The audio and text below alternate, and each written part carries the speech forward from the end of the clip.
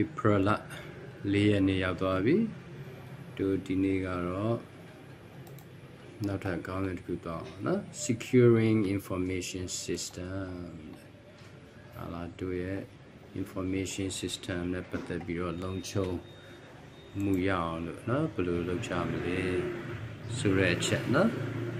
လုံခြုံရေးနဲ့ပတ်သက်ပြီးတော့ဘာတွေသိတင်တယ်လဲအဲ့ဒါတွေလည်းပါသွားတာပေါ့နော် we learning objectives ဒီမှာ၄ပိုင်းရှိတယ် why are information system vulnerable to destruction error and abuse 8.2 what is the business value of security and control 8.3 what are the components of an organizational framework for security and control 8.4 what are the most important tools and technologies For safeguarding information resources. No? Okay, အဲဒီတော့ဒီမှာ case study နော် STUX NET Stuxnet လို့ပြောအောင်လားမသိနော်ပြီးရင် cyber warfare ဒီ warfare ဆိုတော့တိုက်လံပွဲပေါ့နော်စစ်ပွဲပေါ့ဟာလာဒါပေမဲ့ cyber ဆိုတော့ဟာလဲသူတို့နီးပညာနဲ့နော်တိုက်တဲ့ပွဲဟာလာ STUX NET ကြတော့သူကကြတော့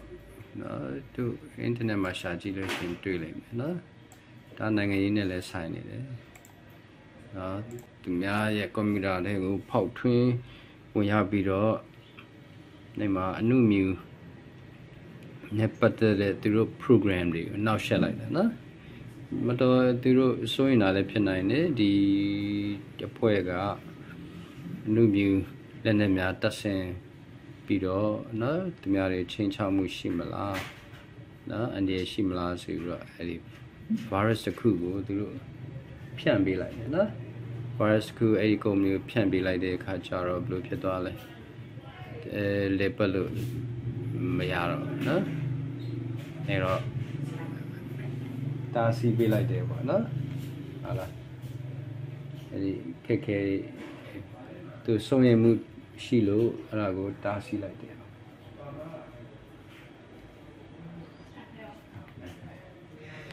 ဟုတ်ပြီပြီးလို့ရှင် cyber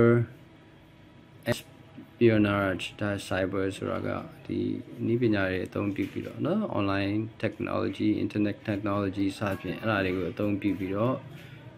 စုံစမ်းထောက်လှမ်းမှုလုပ်တဲ့ကိစ္စတွေเนาะအဲ့တော့အဲ့အသေးစိတ်ကတော့သူ internet မှာရှာကြည့်မှပဲသိမှာเนาะမတော်ဒီ textbook ထဲမှာလည်းရှိကောင်းရှိလိမ့်မယ်ဒါပေမဲ့တို့အဲ့ဒါတွေမပြောတော့ဘူးเนาะ ဒီမှာ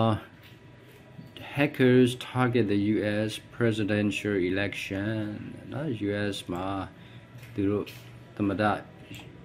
နော်ရွေးကောက်ပွဲလို့ပြောမလားဒီနေရာမှာ hacker က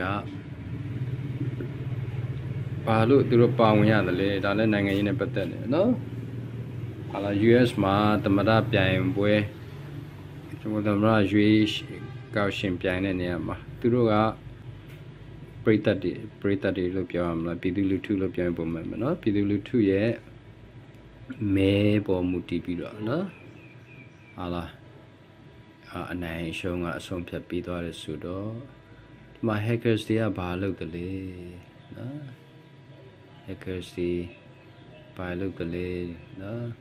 အခုဒီမှာပြဿနာကဘာလဲ weak network security เนาะသူတို့ရွေးကောက်ပွဲ commission ပဲဖြစ်ပါဖြစ်ဖြစ်เนาะသူတို့ရဲ့ network က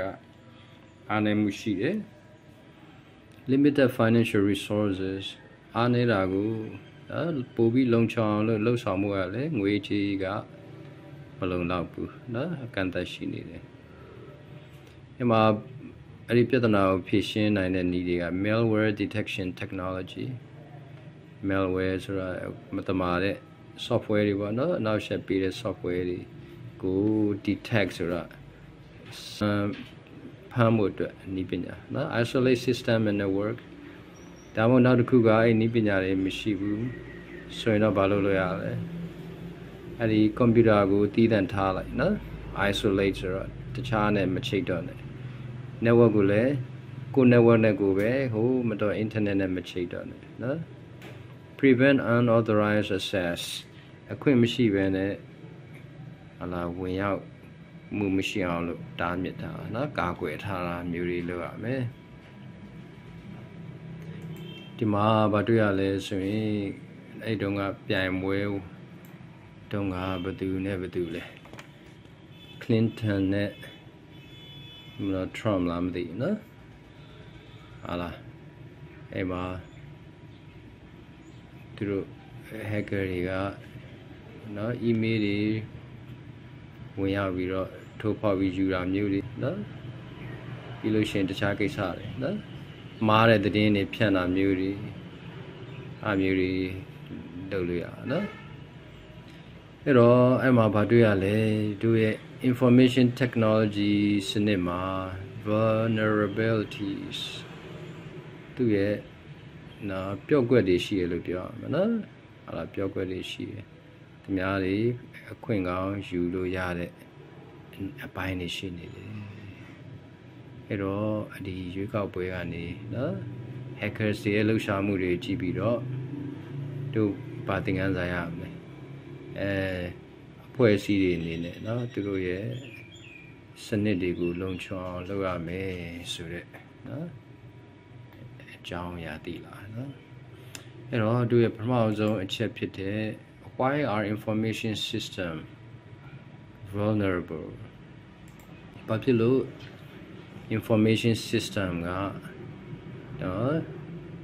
အားနည်းချက်ရှိရတယ်လေအပြီးအပြီးအားနည်းချက်က security ဘိုင်းဖြစ်နိုင်တယ် control ဘိုင်းဖြစ်နိုင်တယ်နာစာဖြစ်မှာနော်ပြီးတော့အားသာချက်ကလည်းတစ်ဖက်မှာအားနည်းချက်ဖြစ်သွားတယ်ဆိုရရလည်းဖြစ်နိုင်တယ်နော်ဟုတ်ပြီ security ကဘာကြောင့်အားနေသွားတယ်လဲ policy တွေကြောင့်နော် policy ကတိတ်ညံ့ပြင်းလို့ဖြစ်နိုင်တယ် procedure သူတို့လှုပ်ဆောင်တဲ့လှုပ်ဆောင်ချက်တွေ technical measures ဒီနည်းပညာနဲ့ပတ်သက်ပြီးတော့เนาะကာကွယ်တဲ့အပိုင်းတွေเนาะဟာလား alteration theft or physical damage to information system เนาะ alteration ဆိုပြောင်းလိုက်တာ theft ဆိုခိုးတာဥမာအရာရှိတယောက်ရဲ့ laptop ကိုသူကပေါ်ဆပြီးတော့လင်ကွင်းမှာမိချန်ခဲ့တယ်အဲ့ဒါကိုတယောက်ယောက်ကခိုးသွားတယ်နော်အမျိုးတွေလည်းရှိဘူးတယ်ဒါမှမဟုတ် physical damage ဒီကွန်ပျူတာထဲတော့ထိုးပေါက်ပြီးတော့ hack နော်ထိုးပေါက်ပြီးတော့ဝင်လို့မရပါမယ်ကွန်ပျူတာဖျက်ဆီးပစ်လိုက်တယ်ဆိုလဲဒါလည်း security ကိုထိခိုက်နိုင်တယ်နော် အပြီး control ဘိုင်းကရော methods policies policy ပြန်လာပြန်ပြီနော် control ဆိုတာကတို့ထိန်းချုပ်ဖို့အတွက်နော်နီးလန်းတွေ policy တွေ organizational procedures that ensure safety of organization's assets ဒီဖွဲ့စည်းရဲ့ပိုင်ဆိုင်မှုတွေလုံခြုံအောင်နော်လှုပ်ဆောင်တဲ့ policy တွေ နီလန်နေ procedure တွေနော်လှုပ်ဆောင်ပုံဆင့်ဆင့်ပါနော်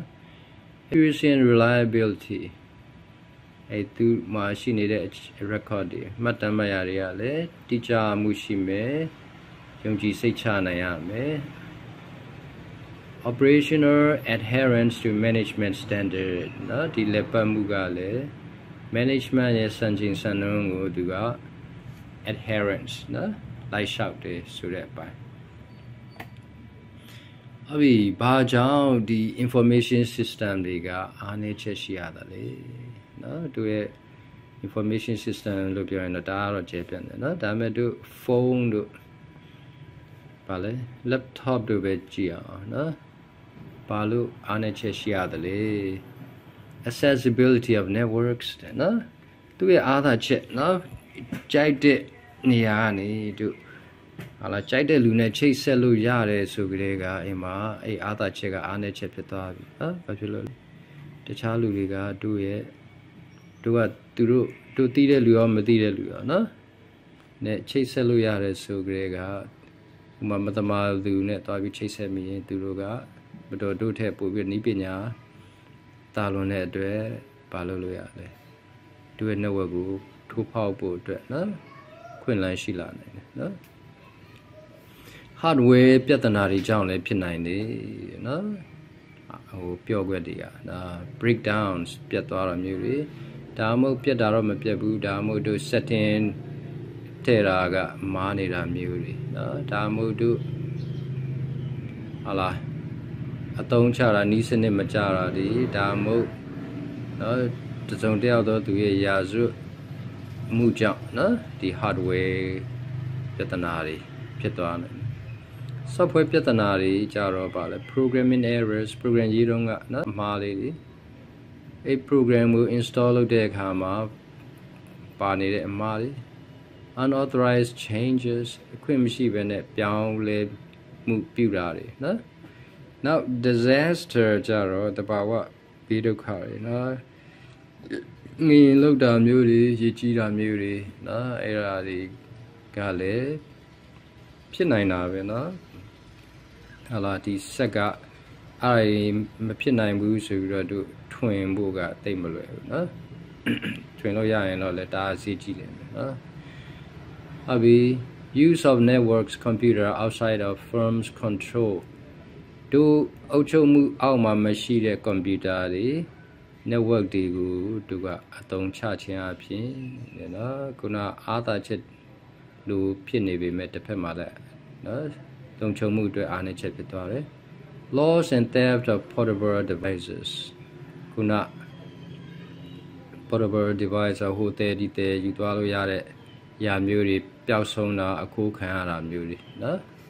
အားဒီကြောင့်နော်ပျော့ကွက်တွေအများကြီးရှိနေတယ်နော် Okay ဒီမှာပါရှိလဲ client you client ဆိုပြီးတော့ရှိမယ် user နော်ဖုန်းဖြစ်နိုင်တယ်ကွန်ပျူတာဖြစ်နိုင်တယ်သူက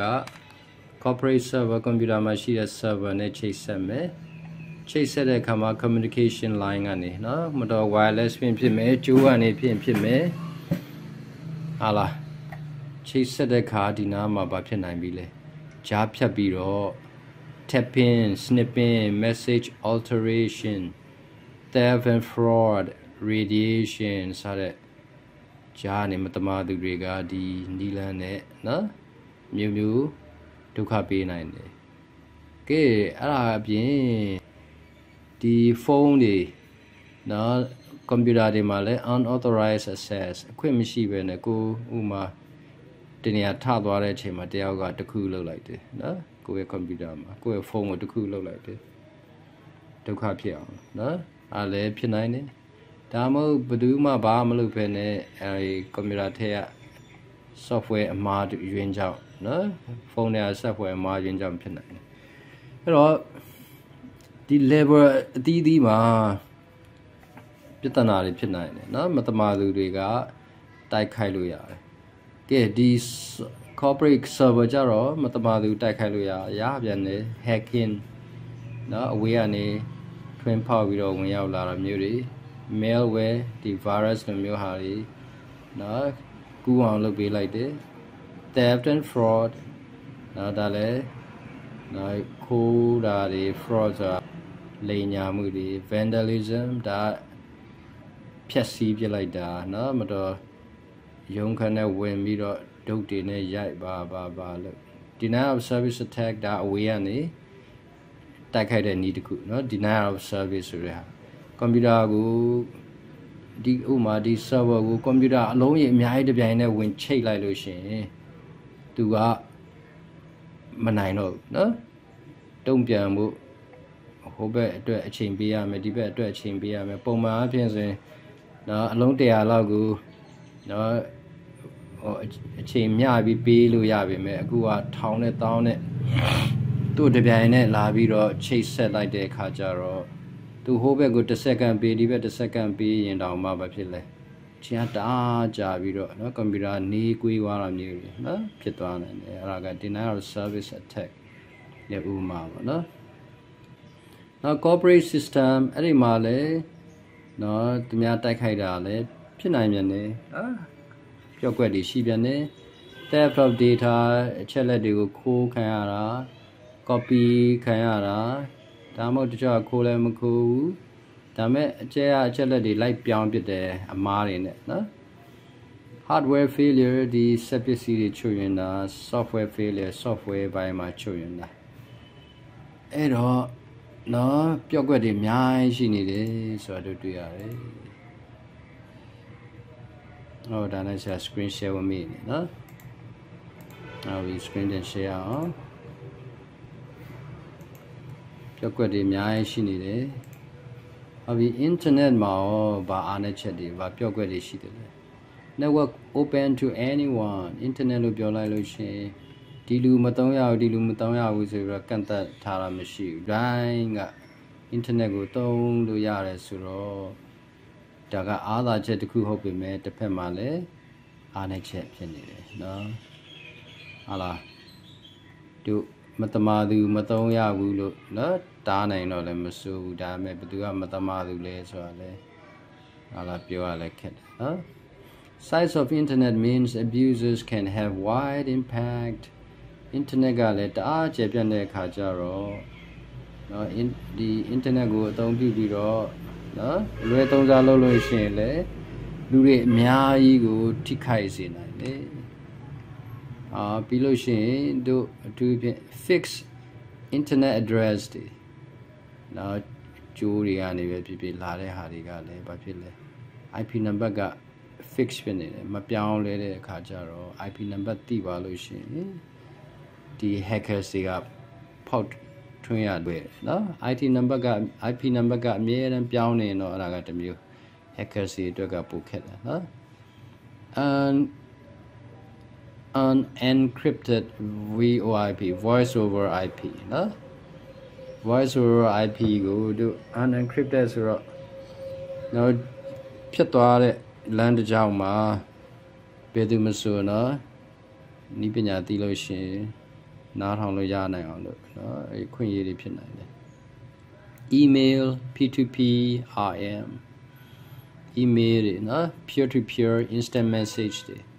ဒါကလည်းဘာနဲ့ဘာဖြစ်နိုင်လဲ interception ကြားဖြတ်ပြီးတော့ခိုးနားထောင်တာမျိုးတွေ ပြီး email ပို့တဲ့အခါမှာ attachment ပို့ attachment ထဲမှာဗာထည့်မလဲ virus တွေထည့်ပေးလိုက်တာမျိုးတွေ transmitting trade secrets ဒါကုမ္ပဏီနဲ့ပတ်သက်တဲ့လူဝက်ချက်တွေနော်ဟာလားအဲ့ဒါကိုတခြားကိုပို့ပေးတာမျိုးတွေလည်းဖြစ်နိုင်တယ်နော်အဲ့တော့ internet ကနေတဆင်ဒီပြဿနာတွေဖြစ်နိုင်တယ် wireless security challenge နော်ကျိုးမဲ့စနစ်မှာရောဒီလုံခြုံရေးနဲ့ပတ်သက်ပြီးတော့ဗာစိန်ခေါ်မှုတွေလေးရှိတယ်လေနော်ကျိုးမဲ့စနစ်မှာကွန်ပျူတာတစ်လုံးနဲ့တစ်လုံးပဲဖြစ်ဖြစ်နော်ဖုန်းတွေတစ်လုံးနဲ့တစ်လုံးပဲဖြစ်ဖြစ်ချိတ်ဆက်တဲ့အခါမှာသူတို့ radio frequency ကိုသုံးတယ် radio frequency ကိုတခြားမသက်ဆိုင်သူတွေကလည်းပါလို့ရတယ်အလွယ်တကူသူတို့ scan လုပ်လို့ရတယ်တဲ့နော် ပြီးတော့ကမှ SSID နော်အားတွေကလည်းဥမာနော် e-learning ဆိုတဲ့နာမည်ပဲဖြစ်ဖြစ်ပါဖြစ်ဖြစ်အဲ့ဒါကိုမသက်ဆိုင်တဲ့လူတွေကသူတို့ရဲ့နော် sniffing sniffer program တွေနဲ့နော်ဒီဘာလဲ hotspot ရဲ့နာမည်ကဘာလဲသူတို့သိနိုင်တယ်နော်ကိုကဖွက်ထားအောင်နော်ဟာလား war driving eavesdroppers drive by building and SSID and gain access to networking resources တော့ခိုးနာတော့တဲ့လူတွေလို့ပြောမလားเนาะဒါကတော့ဤပညာကိုသုံးပြီးတော့လှုပ်ဆောင်တဲ့လူတွေကဘာဖြစ်မလဲအဲဒီအဆောက်အဦမှာ wifi လွှင့်ထားတယ်ဆိုရင်သူတို့ကဘာလဲတော့ကားနဲ့ပဲခဏလေးရပ်ပြီးတော့ဖြတ်သွားလိုက်เนาะဒီ SSID ကဘာလဲသူတို့သိနိုင်တယ် ပြီးတဲ့အခါမှာသူတို့အဲ့ network ထဲကို wireless network ထဲကိုထိုးဖောက်ပြီးတော့ဝင်ရောက်နိုင်တယ်ကလို့သူတို့ဝင်နိုင်ပြီဆိုရင်တော့ဘာဖြစ်မလဲနော်ဒီ network drives တွေ files တွေကိုသူတို့ဟာလားတွားယူနိုင်တယ်နော်ဒီခါလေးကျရင် access point တွေတချို့ကတမင်တကာဖွင့်ပြီးတော့နော်တချို့ password မထည့်လဲမထည့်ဘူး အာလူတွေအင်တာနက်သုံးအောင်လုပ်ရနိုင်အောင်လို့သူတို့အခွင့်ပေးမယ်ဒါပေမဲ့လည်းအဲအဲသူတို့ကချိတ်ဆက်လာတဲ့ကွန်ပျူတာတွေဖုန်းတွေကိုသူတို့ပြန်ပြီးတော့ဒုက္ခပေးနိုင်တယ်နော်အဲ့တော့အမျိုးမျိုးပဲနော်ကဲဒီမှာကြည့်အောင် legitimate user နော် wireless တရား router သူကပုံမှန်သုံးနေတဲ့လူနော်ကြိုးမဲ့သုံးနေတယ်အဲ့တော့ဒါမဲ့လည်းဒီ data တွေကဘာဖြစ်နေလဲ အပြန်လန်းသွားနေတယ်ဒီထဲမှာနော်ဥပမာတို့အစပြီးချိန်မယ်ဆိုရင် authentication request ကဲ password ရိုက်ထည့်ပါဆိုပြီးနော်အဲ့တော့သူက password ရိုက်ထည့်လိုက်တယ်ပြီးတော့ password မှန်တယ်တုံ့ပြန်လိုက်တယ်ကဲ login လုပ်လို့ရသွားပြီနော်ဒါမဲ့ဒီမှာ intruder ဘာလုပ်နေလဲသူ့ရဲ့ဆက်နဲ့ဒီအပြန်လန်သွားနေတဲ့နော်ဟာလာ radio line ကိုသူဖမ်းပြီးတော့နော် password တွေကအစနော်သူကထောက်လှမ်းလို့ရနိုင်တယ်နော်အဲ့တော့ဒါကစင်ခေါ်မှုကြီးကြီးဖြစ်ပါတယ်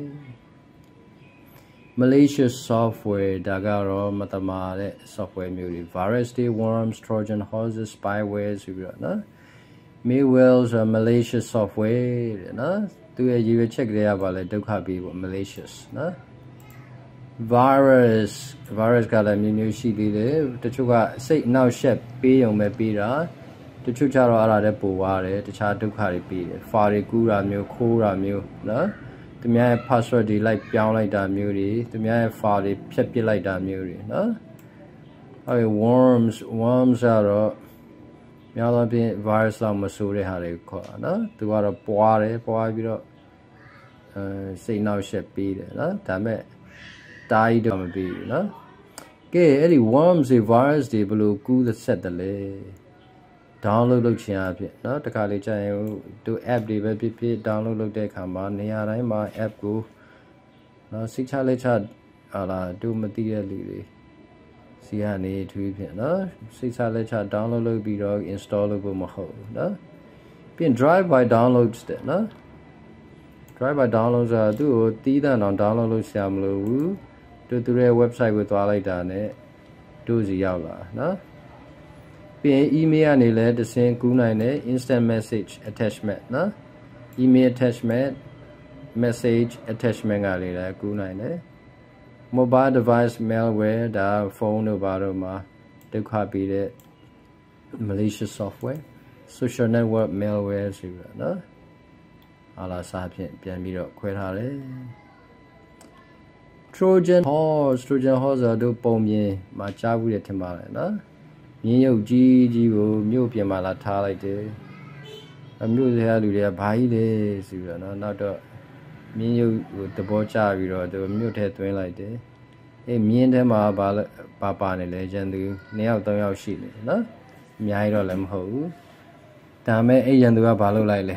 ညဘက်ကျတော့လူတွေအိပ်ပျော်နေတဲ့အခါမှာပဲဖြစ် ပွဲကျင်းပလာပါလေအဲ့ချိန်မှာသူတို့အမြင်ခံနေထွက်ပြီးတော့မြို့တကာတော့ဖွင့်လိုက်တယ်နော်အဲ့တော့အပြင်ကနေရန်သူတွေအများကြီးဝင်လာလို့ရပါတယ် Trojan Horse လှုပ်ဆောင်ပုံနော် software ပိုင်းမှာလည်းအဲ့တဘောပဲ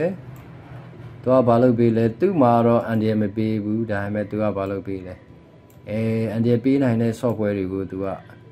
တကားဖွင့်ပေးလိုက်တယ်နော် PSQL injection attacks ransomware ransomware ကြပါလဲနော်တို့ရဲ့ကွန်ပျူတာကို ထုတ်ဖောက်ဝင်ရောက်ပြီးသွားတဲ့အခါမှာသူတို့ကအရေးကြီးတဲ့ file တွေနော်ဒါမှမဟုတ်ကွန်ပျူတာတစ်ခုလုံးက file တွေကိုသူတို့ log လုပ်လိုက်နော် log လုပ်ပြီးတော့သူတို့ password နဲ့တစ်ခုနဲ့ကာလိုက်တယ်အဲ့တော့ကိုကကိုပိုင်ဟုတ်နေအောင်တော့ကိုရဲ့ file တွေကိုဖွင့်လို့မရတော့နော်ဘာဖြစ်လို့လဲတခြားတယောက်က log လုပ်လိုက်တယ် တော့သူကဘာလုပ်လဲကဲမင်းရဲ့ file ကိုမင်းပြန်ပြီးတော့ဖွင့်လို့ရအောင်လုပ်ချင်ရင်တော့ငါ့ကိုပတ်စံဒီလောက်ဒီလောက်ပြီးဒီ account မှာလွှဲလိုက်စားဖြစ်နော်အဲ့ဒါကို ransomware လို့ခေါ်တယ် spyware ကြတော့ spy ပေါ့နော်စုံစမ်းထောက်လှမ်းမှုအတွက်သုံးတယ်အထူးဖြင့် keylogger အဲ keyboard မှာဘာခလုတ်ကိုနှိပ်တယ်လေနော်အထူးဖြင့် password အကန့်မှာဘာခလုတ်နှိပ်တယ်လေဒီကနှိပ်လိုက်သူတို့စီရောက်သွားတယ်နော်ဟာလား spyware ပို့တဲ့နေရာစီရောက်သွားမယ် other types တို့ဟာတွေကြတော့ browser home page တွေကိုနော်သူကပြောင်းပြစ်တာမျိုးတွေတတို့တခုရှာလိုက်တယ်ရှာတဲ့ဟာစီကိုသူကပို့မလို့လို့နဲ့တခြားတနေရာကို redirect ပို့လိုက်တယ်နော် browser ကနေပြင် slow computer performance computer နှီးဝအောင်လုပ်ပေးလိုက်တယ်ဘာဖြစ်လို့လဲသူက memory မှာနေရာအများကြီးယူလိုက်တယ်နော် အဘီ hackers နဲ့ crackers ဘယ်လိုကွာသလဲ hackers ကတော့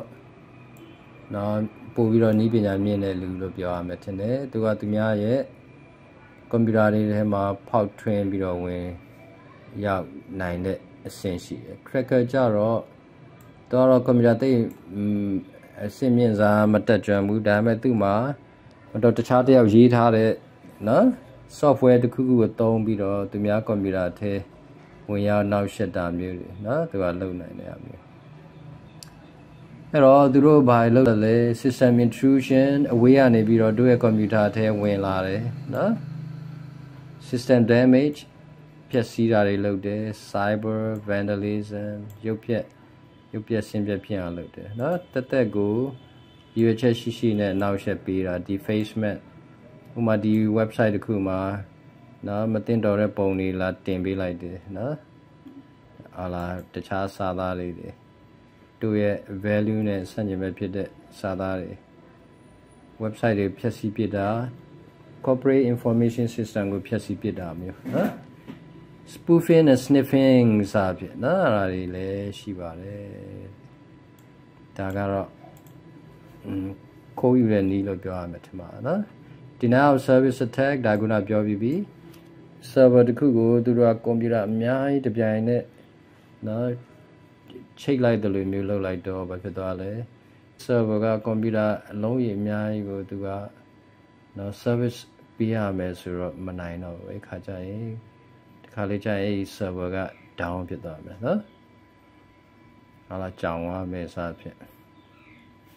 နောက်တစ်ခု DDoS တဲ့နော် distributed denial of service attack အဲ့ဒါကပိုပြီးအဆင့်မြင့်သွားတယ်လို့ပြောရမှာမြေနော်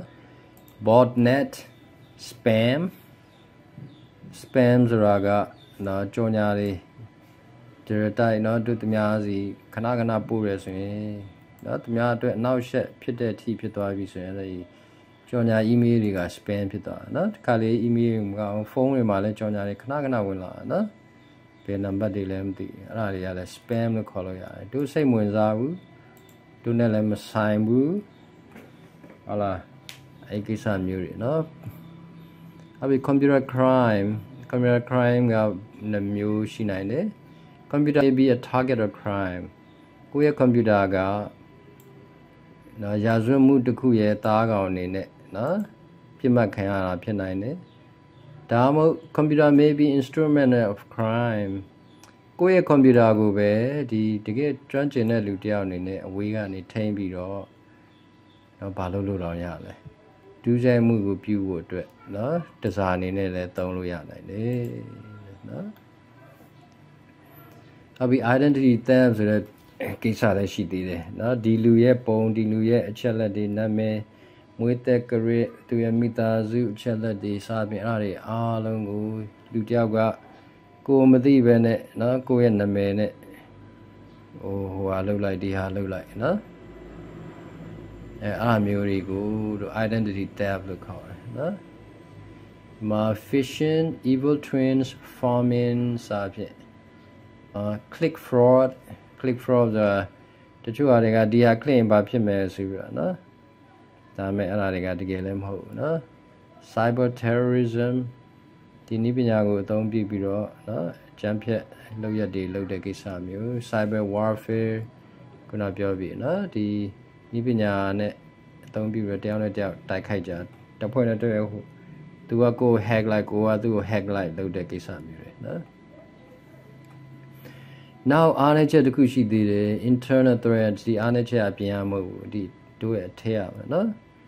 အာဒီထက်ကဝန်ထမ်းတွေအလုပ်သမားတွေနော်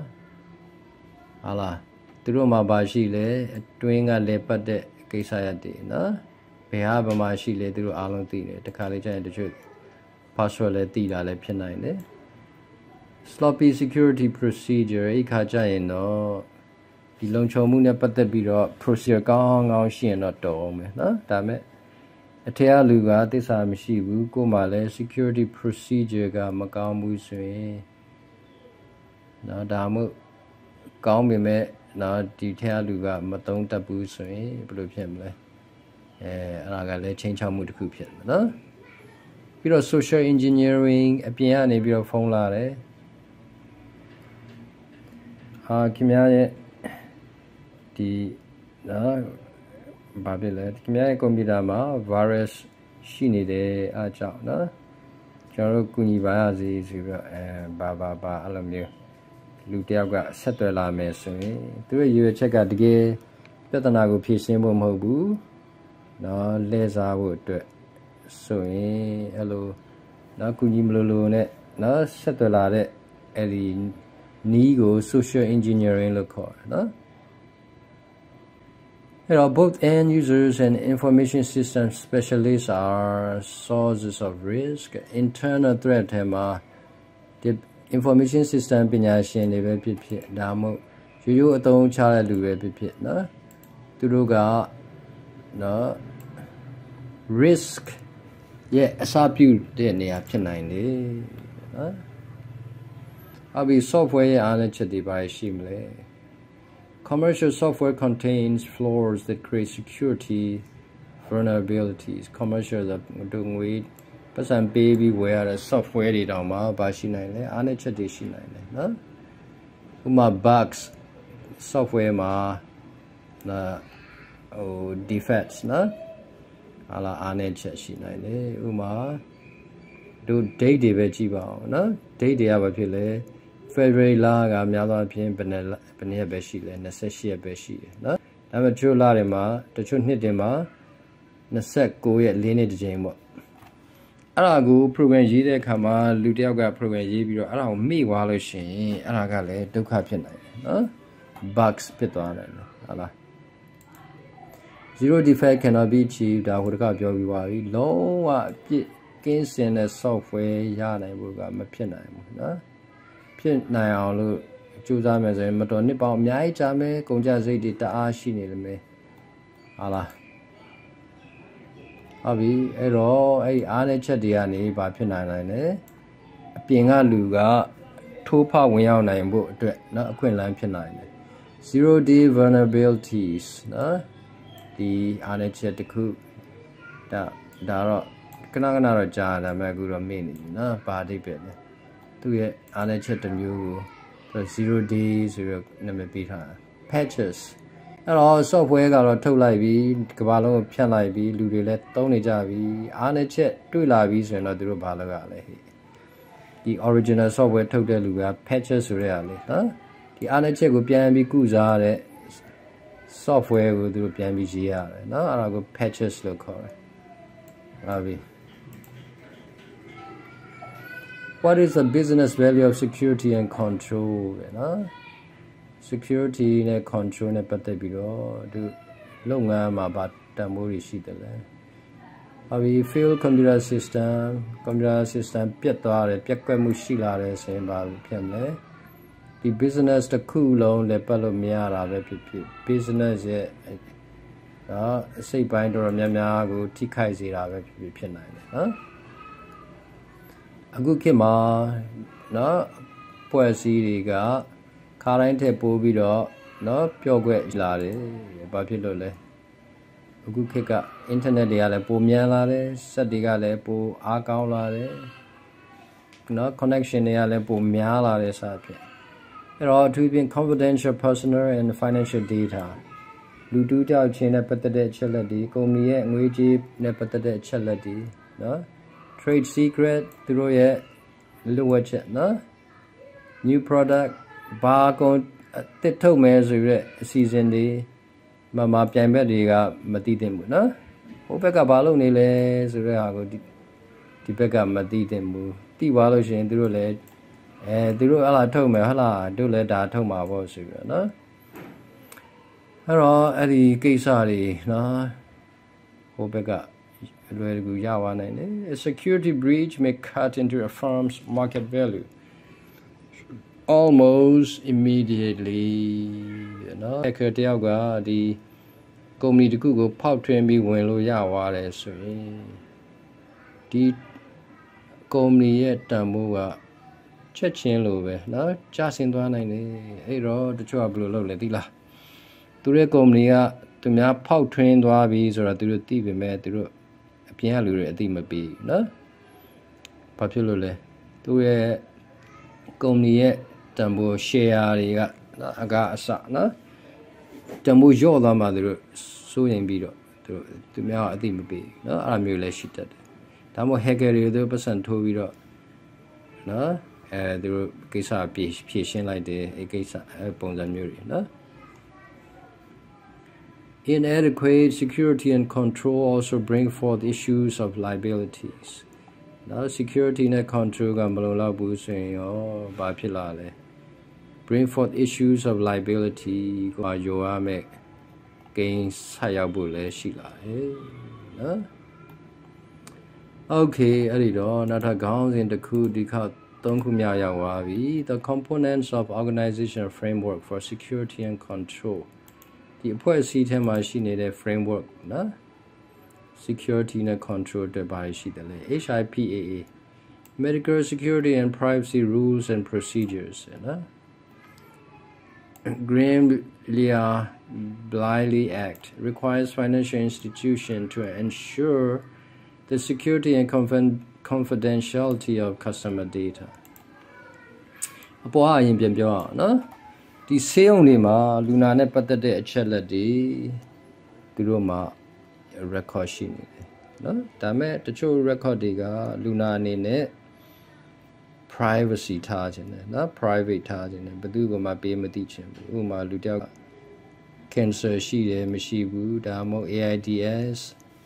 ယောဂမျိုးတွေเนาะတချို့ကရှက်စရာကောင်းတဲ့ယောဂမျိုးတွေတချို့ကလည်းတိသွားလို့ရှိရင်လူတွေကသူ့ကိုအထင်သေးမှမျိုးတွေတိသွားလို့ရှိရင်သူ့ကိုအနိုင်ကျင့်မှမျိုးတွေเนาะအဲ့မျိုးတွေရှိလာတဲ့ခါကျတော့ဒီ HIPA ကဘာဖြစ်လဲအဲအဲ့ဒီကိစ္စရတွေမဆိုင်တဲ့လူတွေမသိအောင်သူတို့မှာနော်ဒီ medical ဆေးဘက်ဆိုင်ရာဌာနတွေက လျှို့ဝှက်ထားမယ်ဆိုတဲ့ကိစ္စရမျိုးနော်ဒီ green Gramlia Bliley Act ကြတော့ဗာလဲဒီ financial institution တွေနော်ဘဏ်တို့လိုပါနော်သူများတွေကိုငွေချင်းငါပေးတဲ့အဖွဲ့အစည်းမျိုးလို့သူတို့ကလည်းသူတို့ရဲ့ customer ရဲ့အချက်လက်တွေကိုသူများကိုအာလိုက်ပြီးတော့ပြပေးဖို့မဟုတ်ဘူးเนาะသတင်းဌာနကလာမေးလို့ ဟုတ်လားသိချင်လားအေးရောဒီလိုပဲဆိုတော့အဲ့လိုပြီးလို့မရနော်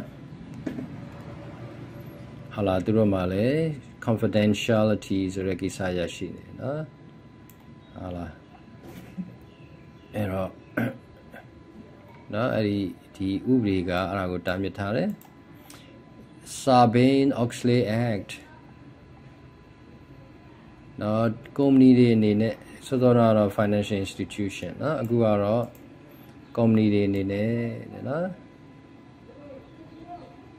နော်သူတို့ကုမ္ပဏီမှာတုံးတယ်ငွေကြေးကိစ္စတွေနော်ဒီအတွင်းပိုင်းတော့၎င်းအပြင်ပိုင်းတော့၎င်းဘာဖြစ်ရမလဲ accuracy တိကျမကန်ရမယ် integrity နော်ဒီသူတို့ရဲ့စံချိန်စံညွှန်းအတိုင်းနော်လိုက်နာရမယ်ဆိုတဲ့အပိုင်းနော် electronic evidence and computer forensic က ဒူးကျဲမှုတစ်ခုဖြစ်သွားပြီးဖောက်ထွင်းမှုတစ်ခုဖြစ်သွားပြီးဆိုရင်မတော်ရဲတွေကဘာလုပ်မလဲအဲ့ဖောက်ထွင်းခံရတဲ့နေရာကိုသွားပြီးတော့ဘယ်လိုလုပ်ဖောက်ထွင်းဝင်လာတယ်လဲလက်ပွေရာတွေရှိသလားနော်မှန်နေပတင်းပေါက်တွေခွဲပြီးတော့ဝင်လာသလားဒါမှမဟုတ်တော့တူနဲ့ဝင်လာသလားစအဖြစ်အချက်လက်တွေကိုသူလိုက်ပြီးတော့ထောက်လာမယ်နော်ဓပုံတွေရိုက်မယ်စအဖြစ်ပေါ့နော်အထောက်ထားတွေ evidence တွေယူမယ်ဒါကတော့ physical ပေါ့နော်ဒီမှာ electronic evidence ဆိုတာလည်းရှိသေးတယ် evidence for white collar crime often in digital form ကွန်ပျူတာနဲ့နော်ဟာလာကွန်ပျူတာကိုအသုံးပြုပြီးတော့ရာဇဝမှုကျူးလွန်တဲ့ကိစ္စရတွေမှာလည်းအထောက်ထားတွေရှိနိုင်တယ်နော်ဟုတ်ပြီ proper control of data can save time အဲ့တော့ ကိုယ့်ရဲ့ data တွေကိုတကယ်ပဲလို့ဖြစ်တင်တယ်လို့ပေါ့နော် control လုပ်ထားမယ်ဆိုရင်တို့အချိန်ကုန်သက်သာတယ်ငွေကုန်လည်းသက်သာမယ်နော် computer forensic လူတယောက်အသက်ခံရတယ်ဆိုရင်ဘယ်တော့တည်သွားလဲအသက်ခံရတယ်လဲဘလို့ကြောင့်တည်သွားတယ်လဲစဖြင့်အဲ့ဒါတွေကိုပြန်ပြီးတော့နော် ဟိုကိုကမျက်မြင်မတွေ့ခဲ့ပေမဲ့နော်ဘလို့ဘလို့ကြောင့်ဖြစ်နိုင်လဲဆိုပြီးတော့အထောက်ထားတွေကြည့်ပြီးတော့ပြန်ပြီးတော့တော်တော်တော်တော်လေးရာခိုင်နှုန်းတစ်ခုအထိပေါ့နော်တိကျမှန်ကန်အောင်လူတွေပြောနိုင်တယ်ဒါက forensic လို့ခေါ်နော် computer forensic ကြတော့ဗာလေနော်ဥမာကွန်ပျူတာတစ်ခုထွင်းဖောက်ခံရပြီဆိုရင်ထွင်းဖောက်ခံရတော့ဟုတ်ပြီဘယ်လိုနည်းနဲ့ထွင်းဖောက်လာသလဲ နော်ထွင်းဖောက်လာတဲ့လူကဘယ်နိုင်ငံကနေထွင်းဖောက်တယ်လဲ?အဲစတဲ့အချက်လက်တွေနော်? Scientific collection examination authentication prevent preservation and analysis of data from computer storage media for use as evidence in court of law. နော်?အဲ့ဒါပြင်ဘာရှိနိုင်လဲ?ဥမာတို့ကွန်ပျူတာထဲမှာ file တစ်ခုနော်?ဥပဒေနဲ့ မကင်းလွတ်တဲ့ file တစ်ခုရှိမယ်တို့ဖြတ်လိုက်ပေမဲ့လည်းနော်ပြန်ပြီးတော့ရှာလို့ရနိုင်တယ်နော်ကွန်ပျူတာထဲမှာဖြစ်ဖြစ် memory stick ထဲမှာဖုန်းထဲမှာစဖြစ်အဲ့ဒါကလည်းဒီနေ့အဖြစ် computer forensic နဲ့ပတ်သက်နေတယ်နော် recovery of ambient data နော်ခုနပြောတဲ့ data တွေဖြတ်ပစ်လိုက်ပေမဲ့ပြန်ပြီးရနိုင်တဲ့ data တွေလည်းရှိတယ်နော်ဟုတ်လား information system control information system ကိုတို့ဘယ်လို control လုပ်မလဲ automate နော် auto နီးနဲ့တို့မ manual တို့လူရဲ့အားနဲ့နော်လူရဲ့လူကိုတုံးချတဲ့နီးနဲ့ control လုပ်မလားနော် general control ရှိပါတယ် general ကအားလုံးခြုံပြီးတော့ govern design security and use of computer programs ကဲ computer program ကိုတို့ ဘယ်လိုအသုံးချမလဲနော်ဘယ်လိုနော်လုံခြုံအောင်ဘာစနစ်ကိုလိုက်ရှောင်မလဲတင်ထားတဲ့ data file စီနော်လုံခြုံအောင်ဘယ်လိုလုပ်မလဲနော်ဒီ company တစ်ခုလုံးမှာအားရရှိရမယ်နော်နောက်တစ်ခု software control software ကိုထိန်းတာ hardware control ကွန်ပျူတာစိတ်ပိုင်းတွေကိုနော် control လုပ်တာခွင့်မရှိတဲ့လူဝင်လို့မရအောင်သုံးလို့မရအောင်မျိုးတွေ operation computer operation control ကွန်ပျူတာကိုဒီဆိုရင် data တော့လုပ်ခွင့်ရှိမယ်စာတော့ရိုက်ခွင့်ရှိမယ် print ခွင့်မရှိဘူးဒီလူဆိုရင်တော့ file ပို့ခွင့်ရှိမယ်စသဖြင့်เนาะဒီ operation နဲ့ပတ်သက်ပြီးတော့ control လုပ်လို့ရတယ် data security control data လုံခြုံမှုအတွက် control လုပ်တဲ့ဟာတွေ system development control administrative control စသဖြင့် control တွေအမျိုးမျိုးပဲเนาะ application control ကြတော့ controls unique to each computerized application နော်ကွန်ပျူတာအထက်မှာရှိနေတဲ့ application တစ်ခုချင်းစီကိုတို့ control လုပ်တာဖုန်းတွေလိုပေါ့နော်ဖုန်းတွေမှာလည်းတချို့ app တွေကဖုန်းပိုင်ရှင်ပဲလွတ်လွတ်လပ်လပ်သုံးခွင့်ရှိမယ်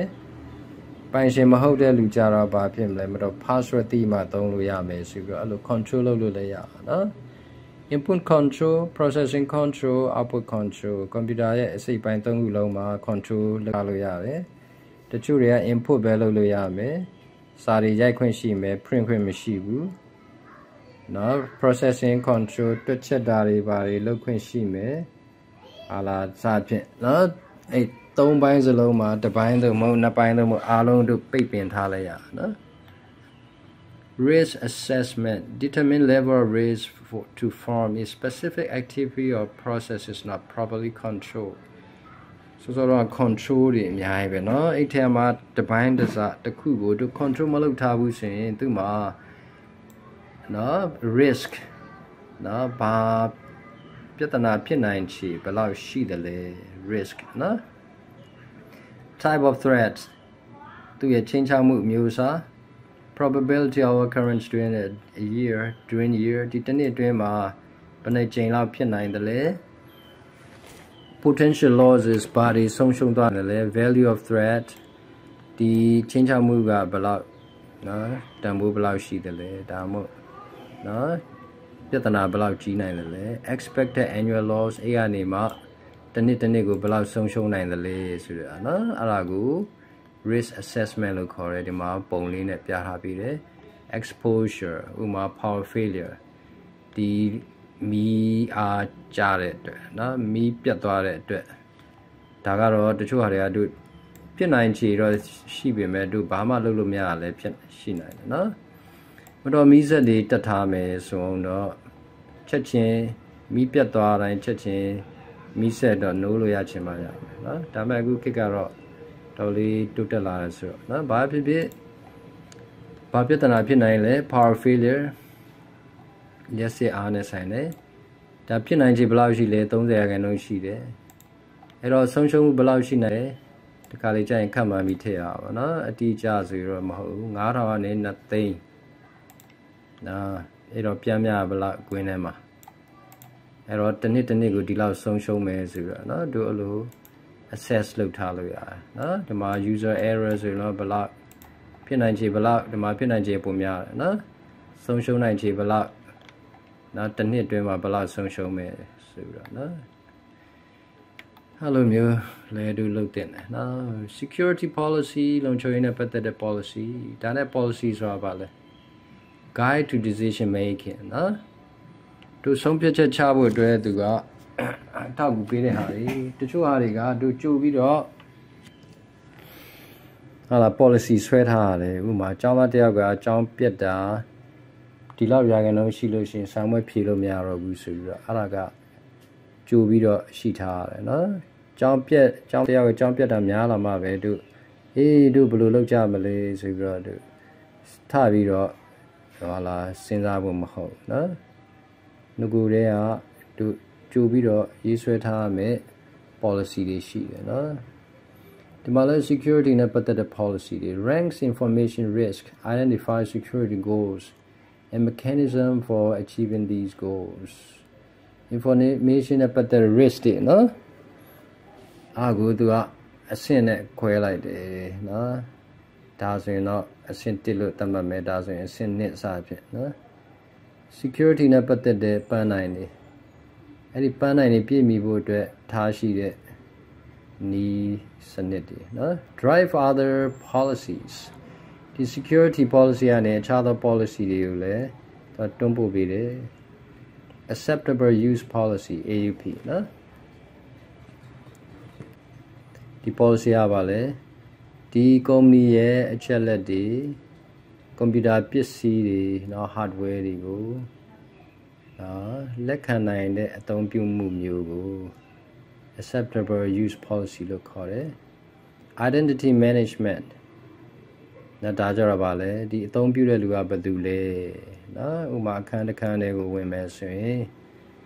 ဒီအခန်းထဲဝင်နိုင်မှုတချို့ကဗာလဲလက်ပွေရနဲ့နော်လက်ပွေရမှန်းမှပဲဝင်လို့ရတယ်နော် identify valid user controlling access ဟောပြီးဒီလူဆိုရင်တော့ဒီလုတ်ပိုင်ခွင့်တွေရှိမယ်ဒီလူဆိုရင်တော့ဒါတွေလုတ်ပိုင်ခွင့်ရှိမယ်စသဖြင့်နော်အဲ့လိုထိန်းချုပ်တော့ကို controlling access လို့ခေါ်တယ်ဒါကုနာဟာကိုပဲသူကနော်ဒီဇာတ်လေးနဲ့ပြတာနော် security profile 1ဆိုရင်ဒီလိုဒီလိုတွေရှိမယ်ဒီဟာလုတ်ခွင့်ရှိမယ် security profile 2ဆိုရင်ဒီလိုဒီလိုရှိမယ် ဒီလုတ်ပိုင်ခွင့်ရှိမယ်စသဖြင့်နော်ဒီမှာဆိုရင် read and update ဆိုပြီးတော့နော်ဟာလာလုတ်ပိုင်ခွင့်ရှိတယ်သူကじゃ read only ကြည့်အောင်ပဲကြည့်လို့ရမယ်နော်ပြင်လို့မရဘူး update ကပြင်လာပြတာပဲဟာလာစသဖြင့်နော် I'll be disaster recovery planning and business continuity planning တို့ disaster ဆိုတာဗာလဲတဘာဝဘေးဒဏ်တွေမီးပေးတို့နော်လဲပါတယ်တခြားမုန်တိုင်းတို့ ဟာလာရေကြီးတာတို့အစာဖြင့်ပေါ့မြေငရင်တို့နော်အဲ့တော့အဲ့ဒီတဘာဘေးတွေမဖြစ်ခင်ကတည်းကသူမှာ planning ရှိရမယ်တကယ်လို့အဲ့လိုဖြစ်လာခဲ့ရင်ပြန်ပြီးတော့နော်ဟိုစာနလန်ထနလန်ဘယ်လိုထုမလဲဆိုပြီးတော့နော်အာသူစီစဉ်နေရှိရမယ် device plan for restoration or disrupted services ဒီ ပြက်သုံးသွားတယ်ပျက်စီးသွားတဲ့ဝန်ဆောင်မှုတွေပြန်ပြီးတော့ပုံမှန်လက်ပတ်သွားအောင်နော်ဘာလုပ်မယ်ဆိုတော့ plan တွေဆွဲထားရမယ် business continuity plan နော်ဒါကြတော့ဗာလဲ disaster နော်ခုနဘေးဒဏ်တစ်ခုခုပြီးသွားတဲ့အခါမှာကုမ္ပဏီရဲ့လုပ်ငန်းလက်ပတ်မှုကနော်ဟာလာပုံမှန်ပြန်ဖြစ်သွားအောင်အာရုံစိုက်တဲ့အပိုင်းနော် အဲ့တော့ဒီ plan တစ်ခုစလုံး disaster recovery plan ရော business continuity plan ရောနော်သူတို့ဘာလုပ်တင်လဲဒီလုပ်ငန်းရဲ့ most critical system အရေးပါဆုံးနော် system ကဘယ်တစ်ခုလဲဆိုတော့သူတို့နော်တည်တည်ချာချာသိနေရမယ်နော် business impact analysis to determine impact of an outrage တခုဖြစ်ခဲ့တယ်เนาะဘေးဒဏ်တခုဖြစ်ခဲ့တယ်ဆိုရင်ဒီဖြစ်ရက်ကနေပြီးတော့တဘာဝဘေးဒဏ်ကနေပြီးတော့ဘာတွေဘလို့ထိခိုက်ခဲ့တယ်လဲဆိုတဲ့ဟာเนาะ analyze လုပ်တဲ့เนาะအစီအစဉ်လည်းရှိရမယ်ပြီးရင်ဟောပြီးပျက်စီးသွားတာအများကြီးထဲကဘယ်ဟာကိုအရင်เนาะ ပုံမှန်လက်ပတ်နိုင်အောင်လုပ်မလဲဆိုတဲ့ဟာကိုလည်းသူကအဆုံးဖြတ်ထားမယ်။အဲဒီ the role of auditing audit ဆိုတာသူဟိုငွေကြီးပဲမကเนาะဒီမှာဘာတွေရော audit လုပ်မလဲ information system ကိုလည်း audit လုပ်မယ် information system audit မှာပါပါတယ်လေ examine firms overall security environment ဒီဖွဲ့စည်းတစ်ခုလုံးရဲ့လုံခြုံမှုနဲ့ပတ်သက်တဲ့ ဟာအကြောင်းအရာတွေပြီးလို့ရှိရင်လူတူတယောက်စီကသူတို့ရဲ့နော် information system နဲ့ပတ်သက်ပြီးတော့ဘယ်လို control တွေလိုက်နာကြသလဲဆိုတဲ့အပိုင်းနော် secure security audit မှာ review technologies နည်းပညာတွေကိုပြန်ပြီးတော့ဆန်းစစ်မယ် procedure documentation training and personnel နော်အဲ့ဒီဟာတွေလူတွေကအစ အားလေးကိုဆန်းစစ်တာတွေလုပ်မယ်တခါလေးပါတော့လုပ်မလဲတို့တခါလေးတို့ငယ်တော့အကြောင်းနေမှာနော်မီးလောင်ရင်ဘယ်လိုလုပ်မလဲဆိုတော့မီးတော့တကယ်မလောင်ဘူးဒါပေမဲ့မီးတကယ်လောင်တယ်ဆိုတဲ့ပုံစံမျိုးနဲ့တို့လေ့ကျင့်ရနော်အဲ့အဲ့ဒါကို simulate လို့ခေါ်တယ်နော်အဲ့တော့ဒီမှာတဘာဝ BN တွေတော့မဖြစ်ဘူးဒါပေမဲ့တဘာဝတကယ် BN တွေတကယ်ဖြစ်တယ်လို့နော် ဟိုအနေထားမျိုးနဲ့တို့လေ့ကျင့်တာမျိုးတွေနော်ဟာလားဘလို့တုံ့ပြန်မှုရှိကြတယ်လဲဆိုတဲ့ဟာတွေကို test လုပ်တာနော် list and rank control weaknesses control မရအားနည်းချက်တွေဘာတွေရှိတယ်လဲဒီအားနည်းချက်ကတော့အဆိုးဆုံးပဲဒီအားနည်းချက်ကဒုတိယအဆိုးဆုံးစပြင်တို့ rank တွေပဲလုပ်ထားရမယ်ပြီးလို့ရှိရင်ဘလောက် probability of occurrence ဖြစ်နိုင်ခြေဘယ်လောက်ရှိတယ်လဲစောစောအားနဲ့နည်းနည်းဆက်နော် assess financial and organizational impact of each threat ဒီချင်းချောက်မှုတစ်ခုချင်းရဲ့ငွေရေးကြေးပိုင်းနဲ့အဖွဲ့အစည်းကိုဘယ်လိုဒုက္ခပေးနိုင်တယ်လဲဆိုတဲ့ဟာကိုနော် assess လုပ်ရမယ်နော်ဟုတ်ပြီဒီမှာ sample လေးရှိပါတယ် sample auditor list of control weaknesses ဟော control နဲ့ပတ်သက်တဲ့အားနည်းချက်တွေဘာတွေရှိနိုင်တယ်လဲဆိုပြီးတော့နော်အဘီ user account with missing password တချို့ user account တော့ရှိပါတယ်ဒါပေမဲ့ password ကို blank ထားတယ်နော်အားမျိုးလည်းရှိတတ်တယ်အဲ့ဒါက weakness တစ်ခုမျိုးဖြစ်တယ်နော် chance for error abuse နော်အဲ့တော့အဲ့လိုဖြစ်နေလို့ရှိရင်လူတွေကအလွဲသုံးစား လုပ်လို့ရနိုင်သလားနော် password ဆိုရင်တော့ yes လွဲသုံးစားလုပ်လို့ရနိုင်တယ်နော်ပြီးလို့ရှိရင် note notification to management ဘယ်နေ့တုန်းကသတိသတိပြုမိတယ်လဲဘယ်နေ့တုန်းက management ကိုအသိပေးလိုက်တယ်လဲနော်ပြီးရင်ဘယ်လိုတုံ့ပြန်မှုလုပ်မလဲ password မထည့်ထားတဲ့လူကြတော့ password မရှိတဲ့ account တွေပိတ်လိုက်နော်အဲအဲ့လိုလုပ် ဒုတိယတစ်ခု network configuration to allow some sharing system file တို့ file တွေကိုเนาะ network ကနေ share လုပ်လို့ရမှာလား share ထားတဲ့ခါကျတော့အဲ့မှာစောစောပြောလို့ပဲဟာလာ security ပိုင်းမှာအားနည်းချက်ရှိလာတယ်နော်အဲ့တော့သူများတွေအလွဲသုံးစားလုပ်လို့ရနိုင်သလား yes တဲ့နော် expose critical system file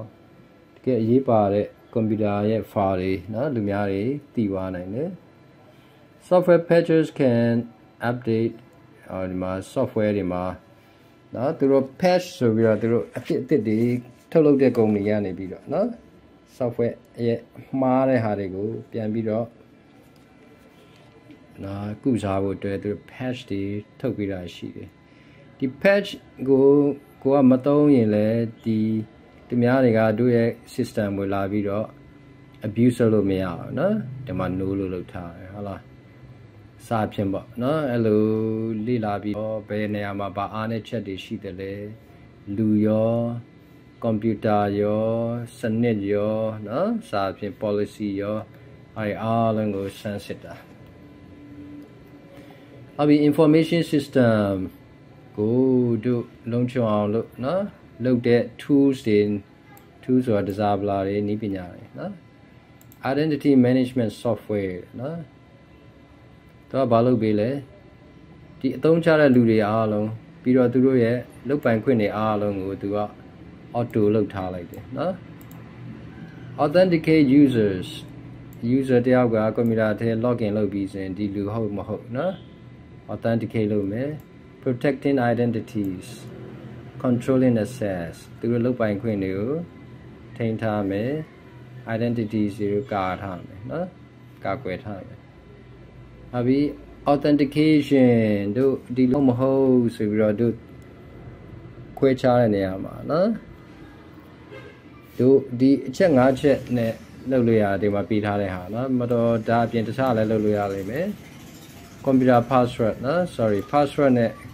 တချို့ tokens နဲ့နော် password မဟုတ်ဘဲနဲ့တချို့ memory stick လိုမျိုးဟာလေးထိုးထည့်ရတယ်ထိုးထည့်လိုက်လို့ရှိရင်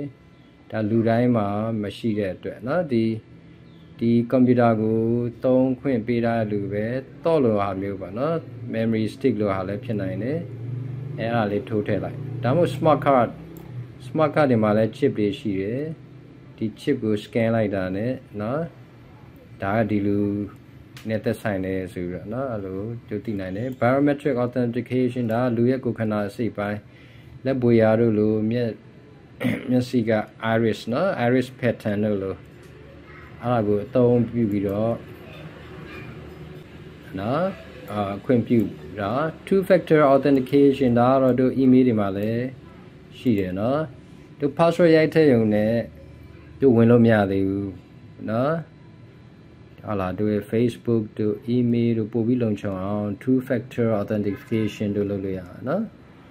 တို့ password ရိုက်ထည့်လို့ရှင်သူကဘာလုပ်ပြီလဲသူ့ရဲ့ဖုန်းကို message တစ်ခုပို့ပေးလိုက်တယ်နော်ညနေမှာ yes ဆိုပြီးနေမှာပဲနှစ်ဆင့်လောက်ရတယ်နော်အဲ့တော့မှပဲသူဝင်လို့ရအသုံးပြုလို့ရဟုတ်ကဲ့ firewall ဆိုတဲ့နည်းပညာရှိပြန်တယ်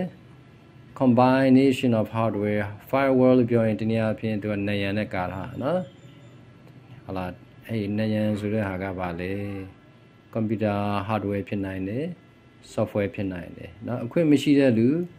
ကိုကိုရဲ့ network ထဲဝင်ရောက်လို့မရအောင်လို့နော်သူကကာလာပြီးတယ်အာ packet filtering stateful inspection network address translation application proxy filtering စတဲ့နီးတွေနဲ့နော် firewall ကိုသူကအသုံးချလို့ရနော် firewall ဆိုတာအပြင်မှာနယံကြီးတော့မဟုတ်ဘူးနော်ဒီမှာပုံတော့နယံလိုမျိုးဆွဲထားတယ်ဟုတ်ပြီ internet ကနေတို့အတွင်းကကွန်ပျူတာကွန်ပျူတာကုမ္ပဏီအတွင်းကကွန်ပျူတာတွေကိုဒီတိုင်းချိတ်ဆက်ထားမယ်ဆိုရင်ဘယ်သူမဆိုကိုယ့်ရဲ့ server တွေကိုဖောက်ထွင်းလို့ရနိုင် နော်အဲ့တော့အဲ့အန်ဒီကနေကာကွယ်ဖို့အတွက် firewall ဒီမှာနှစ်ခုတော့လောက်ထားတယ် outer firewall inner firewall ဆိုရနော် outer firewall ကဘယ်ဟာကိုကာကွယ်ထားလဲ web server ကာထားတယ်ဒီ inner firewall ကျတော့ corporate နော် system ကိုကာကွယ်ထား database တွေရောနော်ဒီမှာ policy တွေ rules တွေရှိရမယ်နော် intrusion detection system လူတယောက်ယောက်ကသူကွန်ပျူတာစနစ်တဲ့ထိုးပေါက်လာပြီဆိုရင်သူသိနိုင်အောင်လို့နော်ပေါ်ပြတဲ့စနစ်မျိုးရှိရမယ်နော်သူလွှင့်ထားတဲ့ wifi ပဲဖြစ်ဖြစ်သူရဲ့ network ထဲပဲဖြစ်ဖြစ်လူတယောက်ကအပြင်ကလူတယောက်ထိုးပေါက်ဝင်ရောက်ခိုးပြီးတော့ဝင်လာပြီဆိုရင်တို့သိနိုင်အောင်နော်ဝင်ရောက်လာပြီဆိုတာနဲ့တို့အသိပေးတဲ့စနစ်မျိုးနော်ပြီး antivirus anti spyware အဲ့ဒါတွေကလည်းဘာဖြစ်မလဲတို့အသုံးချလို့ရတယ်နော်အဲ့တော့ malware တွေရှိမရှိနော်အဲ့ဒါကိုလည်းသူကကာကွယ်ပြီးတော့တားဆီးနိုင်တယ်ပြဿနာတွေဖြေရှင်းပေးနိုင်တယ်ဒါမဲ့ဘာလို့ရမလဲ require container update antivirus virus တွေကိုတပ်ပေးတဲ့ software ကိုတို့တစ်ခါ install လုပ်ပြီးတာနဲ့ပြီးသွားရောမဟုတ်ဘူးเนาะဘာဖြစ်လို့လဲ virus အသစ်အသစ်တွေကအမြဲပေါ်နေတဲ့ခါကျတော့တို့ virus နဲ့ပတ်သက်တဲ့အချက်လက်တွေကိုအမြဲတမ်း update လုပ်ရတာเนาะ unified threat management system တဲ့နော်ဒီချင်းချောက်မှုတွေကိုကင်တွယ်ဖို့နော်တစ်ခုလုံးဟာလာပေါင်းစည်းတဲ့စနစ် secure wireless network wireless network ကိုတို့လုံခြုံအောင်ဘယ်လိုလုပ်မလဲဟာလာ password တောင်မှ WEP security သုံးတာရှိတယ် WPA2 specification ဆိုပြီးရှိတယ်နော်အဲ့နှစ်ခုတည်း WPA ကတော့ပို့ပြီးတော့လုံခြုံတယ် WEP ကိုသူကနောက်ပိုင်းမှာအစားထိုးရနော်ပို့ပြီးတော့ stronger standard နော် continually changing အများအားပြောင်းနေတယ် longer encryption keys ဒီ key တွေလည်းပို့ပြီးတော့ရှည်တယ်ဆိုတော့ပို့ပြီးခက်မရခက်မှာအပြီး encryption and public key infrastructure ဟိုနေ့ကဆရာတစ်ချက်တော့ပြောပါနော် email ကိုတို့ internet ကနေပို့လိုက်တဲ့အခါမှာသူများတွေကတို့ရဲ့ email ကိုမြင်နေရအောင်တော့နော်ဥမာမြန်မာလိုရေးလိုက်တယ်ဆိုရင်အင်္ဂလိပ်တွေကဖတ်တတ်မှာမဟုတ်ဘူးနော် ဒါပေမဲ့အင်္ဂလိပ်ရောမြန်မာရောတက်တဲ့လူကတော့မြန်မာလိုရေးလိုက်ရင်သူတို့သဘောပေါက်တယ်အဲ့တော့တို့ဘာလုပ်လို့ရသေးလဲအင်္ဂလိပ်လိုပဲရေးရေးမြန်မာလိုပဲရေးရေးတချို့ဟာတွေကိုတို့ပြောင်းလိုက်မယ်ဥမာ A ကိုတို့တခြားသင်္ကေတတစ်ခုနဲ့ထားလိုက်မယ် E ကိုလည်းတခြားသင်္ကေတတစ်ခုနဲ့ထားလိုက်မယ်အဲအဲ့လိုအားလုံးကိုမပြောင်းသည့်တိုင်အောင်နော်အဲတော်တော်များများကိုပြောင်းလိုက်မယ်ဆိုရင်သူတို့ email ကိုတွေ့ပေမဲ့ဒီ email ကဘာမှန်းသူတို့မသိတော့ဘူးနော် အဲ့တော့ဘေး email ရတဲ့လူကြတော့ပြန်လုပ်မလဲအဲသူတို့ဒီဟာကဘာနဲ့ပုံဆောင်တယ်လဲဒါကိုဘာနဲ့ပုံဆောင်တာလဲသူကအဲ့ဒါကိုအားလုံးသိတဲ့အခါကျတော့ပြန်ပြီးအစားထိုးလိုက်ရင်နော်အဲ့ဒါက message က original message ပြန်ဖြစ်သွားမယ်နော်အဲအဲ့လိုနီးကိုတို့ဘာလို့ခေါ်လဲ encryption လို့ခေါ်တယ် encryption ကိုဒီမှာနည်းနည်းပေးထားနော် two methods SSL နဲ့ TSL ဆိုပြီးတော့နော် SSL က secure socket layer ပြီး transport layer security ပြီးတော့ secure hypertext transfer protocol ဆိုပြီးနော်အဲဒီနီးတွေနဲ့သူက encrypt လုပ်ထားတယ်ဟုတ်ပြီပြီးတဲ့အခါမှာ encryption of message ကလည်းနည်းနည်းရှိတယ် symmetric key encryption နော်ဒီမှာ key ကပို့တဲ့လူရောလက်ခံရရှိတဲ့လူရော key တစ်ခုတည်းကိုသုံးတယ်နော် single share key public key encryption ကြတော့လို့မဟုတ်တော့ဘူး key နှစ်ခုရှိမယ်ဒါမဲ့အဲ့နှစ်ခုကလည်းတင်ချာနီး formula တစ်ခုရတော့နော် ဆက်ဆက်မှုရှိမယ်ဒီ key နှစ်ခုက public key တစ်ခု private key တစ်ခုเนาะ sender encrypt message with recipient public keys အဲ့တော့စာပို့ရလူကဒီစာကိုလက်ခံရရှိမဲ့သူရဲ့ public key နဲ့เนาะ encrypt လုပ်လိုက်တဲ့ message ကိုเนาะပြောင်းလိုက်တယ်ဟုတ်လား recipient decrypt with private key ဒီလက်ခံရရှိတဲ့လူကြတော့ private key နဲ့ အဲ့စာကိုပြန်ပြီးတော့ original အတိုင်းပြန်ပြောင်းလိုက်တယ်နော် okay ဒီမှာ sender ဘာလုပ်လိုက်လဲ public key နဲ့ message ကို scramble လုပ်လိုက်တယ်နော် scramble လုပ်လိုက်တယ်ဆိုတော့တခုခုပြောင်းလိုက်တယ်ကွာနော်သူ key အတိုင်းကိုပြီးတဲ့အခါမှာ recipient က သူက private key နဲ့ပြန်ပြီးပြောင်းလိုက်ရတယ် private key နဲ့မပြောင်းရင်သူလည်းဘာဖြစ်မလဲဒီ message လာဝင်လာမယ်ဘာ message ဘာမှမသိဘူးဖြစ်သွားမယ်နော်ဒါမဲ့ private key နဲ့ပြန်ပြီးတော့အမှန်လုပ်လိုက်တဲ့အခါကျတော့သူများပို့တဲ့ message ကို original အတိုင်းရမယ် digital certificates နော် Data file used to establish, establish the identity of users and electronic assets for protection of online transaction. Online အနေနော်ဘာလို့မလဲ transaction လုပ်တဲ့အခါမှာအကာအကွယ်ဖြစ်ဖို့အတွက်နော်အသုံးပြုတဲ့ data file ကို digital certificate လို့ခေါ်တာနော်ဟာလား users a trusted third party certification authority to validate a user's identity အော်သူ third party နော်ဟာလာအထူးဖြင့် certification authority ကိုသုံးတယ်ပြီး user ကသူငါကဒီလိုဒီလိုဟုတ်ပါတယ်ဒီလိုဟုတ်ပါတယ်လို့ပြောတဲ့ကိစ္စကဟုတ်လားမဟုတ်လားဆိုတာအခြားသောသူတယောက်ကနော်တကယ်ပဲယုံကြည်စိတ်ချတဲ့သူတယောက်ကဟာလာအမ်ထောက်ခံရင်တော့ဒါကတော့ကောင်းတာပေါ့နော်ဥပမာသူ software တစ်ခုကိုထုတ်လိုက်တယ်ကုမ္ပဏီကနေသူ internet ကနေ download လုပ်လိုက်တယ် ဒီခါလေးကြရင်တို့ internet ကနေ download လုပ်တိုင်းကအဲ့ company ကနေ direct ထုတ်တာဟုတ်ချာဟုတ်မယ်ဘာဖြစ်လို့လဲဂျားကနေလူတယောက်ကအထဲမှာနော်မလိုလားအပ်တဲ့ခုတ်တွေကိုထည့်ပြီးတော့မှတို့စီဘာလို့လဲပြန်ပြီးတော့ပို့လိုက်တာမျိုးတွေဖြစ်နိုင်တယ်အဲ့ခါကြရင်ဒီခုတ်တွေကအပြောင်းလဲဖြစ်သွားပြီနော်အပြောင်းလဲဖြစ်သွားလို့ရှိရင်ဟာလား စိတ်မချရတော့ဘူးဆိုတဲ့ကိစ္စမျိုးเนาะအဲ့တော့ဒီလူတယောက်ကသူပြောတဲ့အတိုင်းဟုတ်မဟုတ်เนาะအာကူ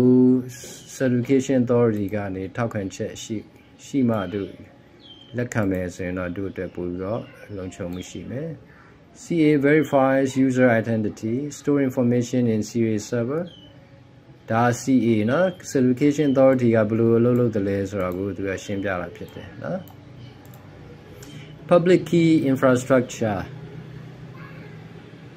သူကလည်းဗာနဲ့တွဲဖက်ပြီးလှုပ်လှုပ်တယ်လေအပေါ်က CA နဲ့တွဲဖက်ပြီးလှုပ်လှုပ်တယ်နော်ဒီ public key infrastructure ကိုဗမာသုံးများလဲ e-commerce နော်ငွေကြေး online ကနေငွေချေတဲ့ကိစ္စမျိုးတွေဖြစ်ပါလိမ့်မယ်နော်ဟုတ်ပြီ digital certificate DA ဆိုတာ digital certificate ပေါ့နော် digital certificate ကိုဘယ်သူကထုတ်ပေးမလဲ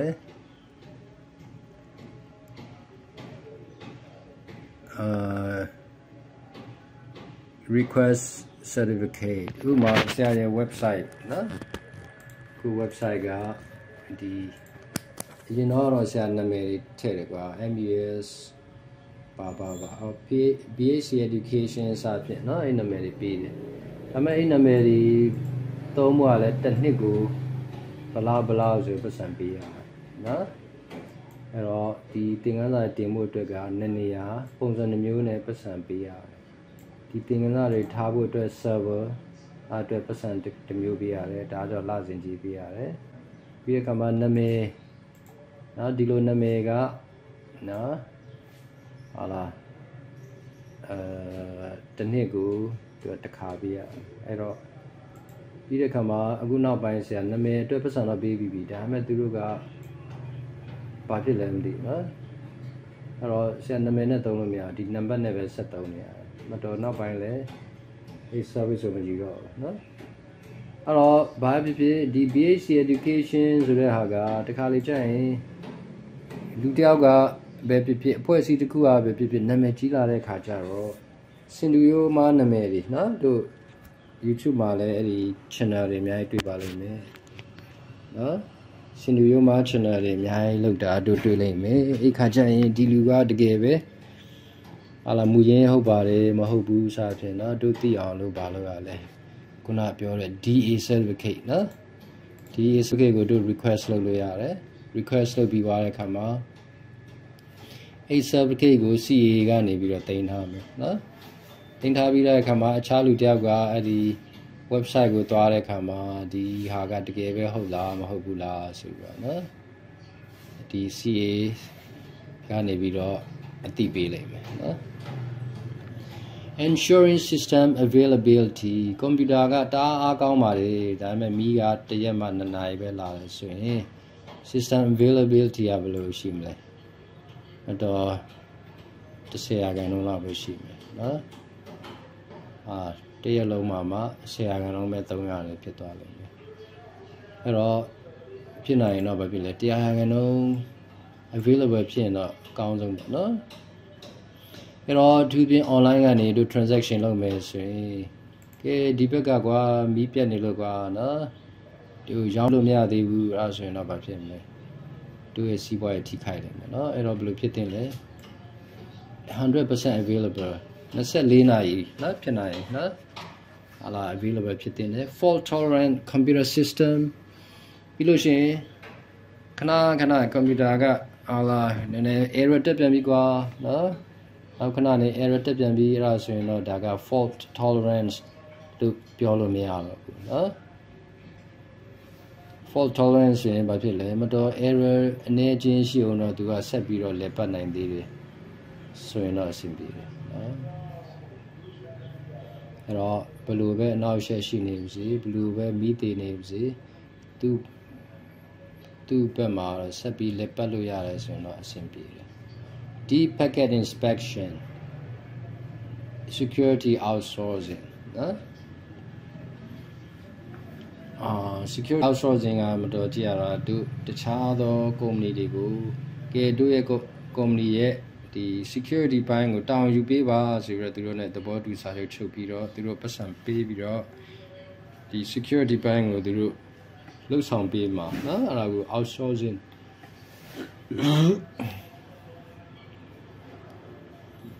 ဟောဒီ cloud computing နဲ့ mobile digital platform မှာဟောဒီလုံခြုံရေးနဲ့ပတ်သက်ပြီးတော့ဘာရှိမလဲ security in the cloud နောက်ပြီး cloud မှာဆိုရင်ဘာဖြစ်လဲတို့ဥမာ Google Drive ကိုသုံးမယ်ဆိုရင်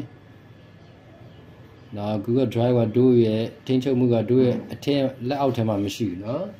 Google Drive ကိုထိန်းချုပ်ထားတာ Google ကုမ္ပဏီကထိန်းချုပ်ထားတယ်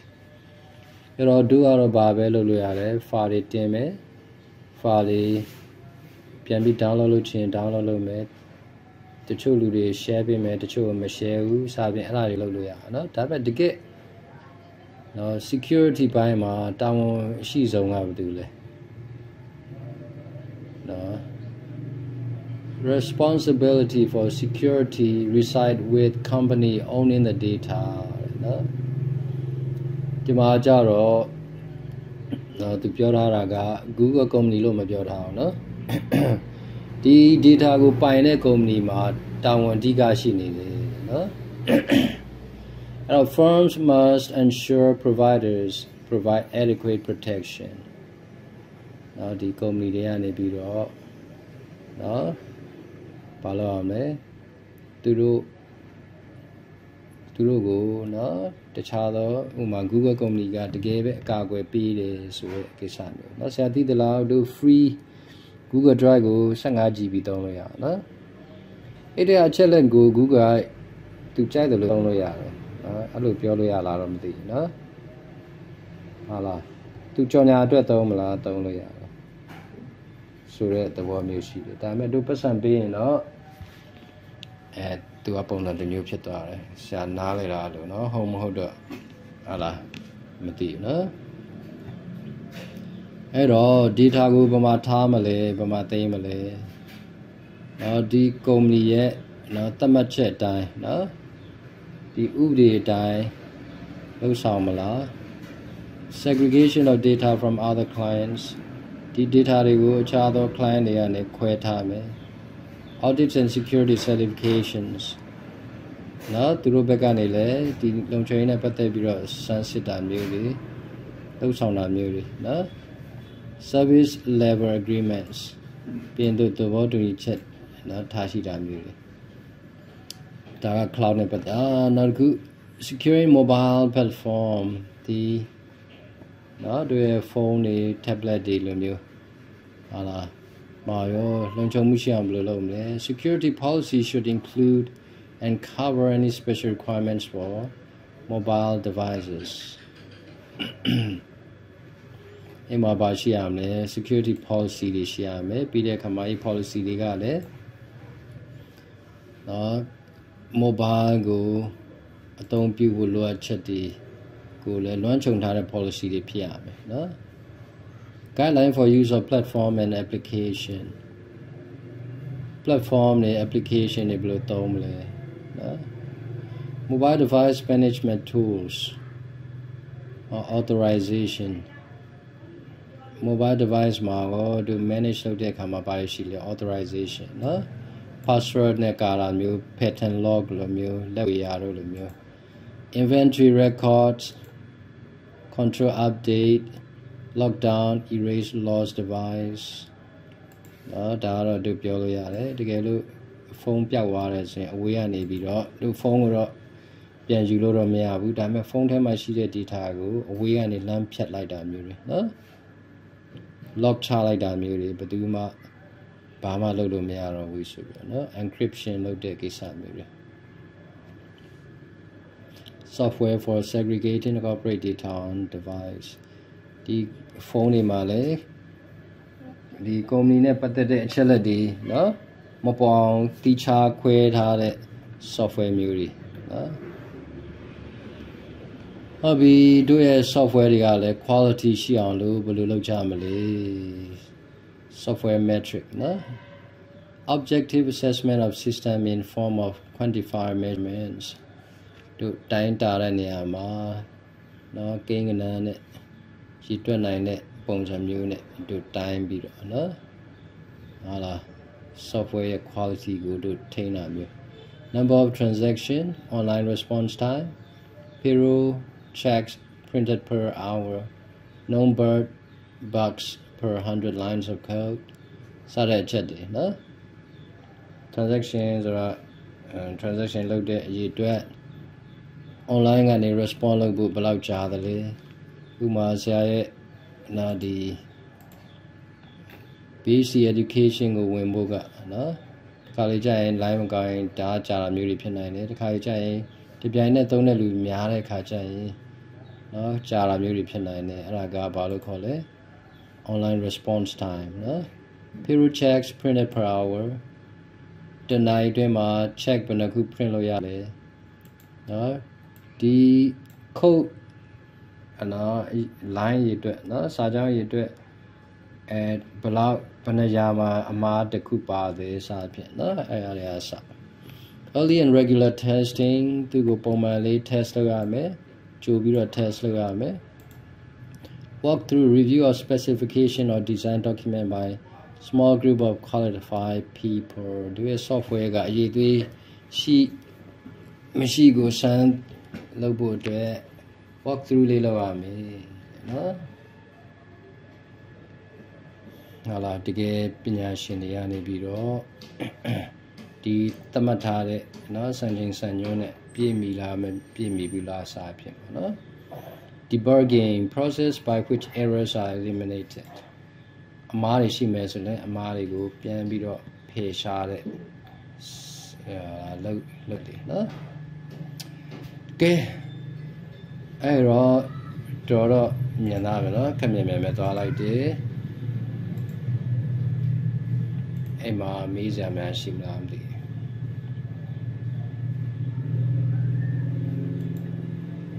မေးစရာရှိမလား level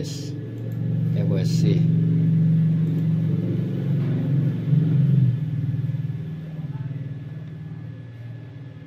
အဲ့ဒီဒီမှာတော့ဒီ theory ပဲများနော် theory ပဲများတယ် okay recording ကိုတစ်ချက်ရအောင်